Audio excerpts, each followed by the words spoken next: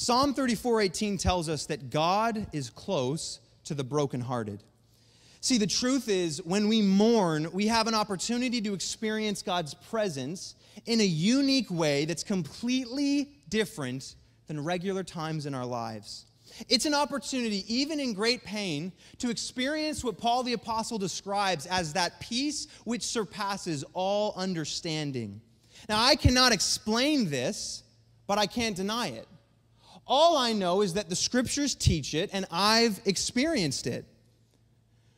When my brother Garrett died, the hospital was able to keep him alive artificially for a few days. And we were really thankful for this because it meant that friends and family could come and see him and, and say their final goodbyes. And so we each had our moments, saying what needed to be said, embracing him one last time. But eventually, the time would come that we had to let him go. And I remember huddling together in the family room after our final goodbyes. We were overwhelmed by our grief. But within moments, my brother Morgan picked up his guitar and he started singing this song by Cory Asbury called Your Love is Strong. And pretty soon, the entire family was singing to God in our grief.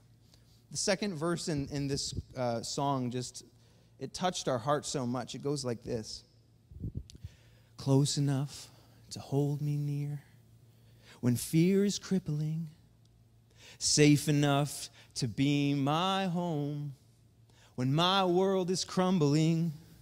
Cause I have come to know a love stronger than the grave, that in my darkest hour, you raise me up from death to life now in resurrection power. Oh, your love is strong. Oh, your love is strong. Oh, your love is strong. Oh, your love is strong.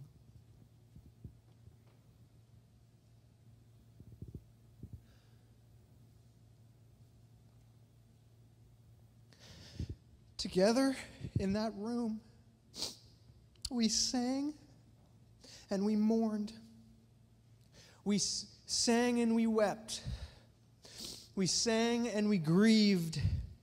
We sang and we processed pain. We sang and we experienced the greatest depth of sorrow we'd ever experienced. And as we sang, we began to experience the tangible, manifest presence of God. I began to experience this truth in real time that God is close to the brokenhearted.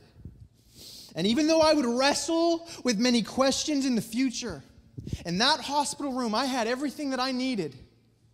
I had the comfort of God's presence in the place of my mourning. See, the truth is this I will never know the answers to most of my questions. But even if God did answer all of my questions, why this? Why that? Why didn't you save him? Why didn't you help him? Why didn't you heal him? Why didn't you change him? Even if God answered all my questions, the truth of the matter is it wouldn't take away the pain of the loss. And see, for a while I thought that I needed a logical answer in the midst of my mourning, but what I realized is that I didn't need a logical answer, I needed a supernatural experience. I needed to experience God's presence in my pain. God's presence in my mourning, God's presence in my grief. And what if this is part of what Jesus is getting at when he says, Blessed are those who mourn, for they will be comforted? What if in our mourning, God knows that we have a unique opportunity to experience His presence like never before? And so He looks at us in our mourning and He calls us blessed. What if there's blessing for those who mourn as we meet God in the mystery? What if there's blessing for those who mourn as we trust Him in the tension? What if there's blessing for those who mourn, who choose childlike faith amidst questions? What if God's looking at you, opening yourself up to His presence in the place of mourning, and says, Blessed are you who mourn, for you will receive comfort? We can experience his presence in our mourning in a way that will mark us forever. Blessed are those who mourn? Yes. Blessed are those who mourn. Because in your mourning, God's presence comes close to you.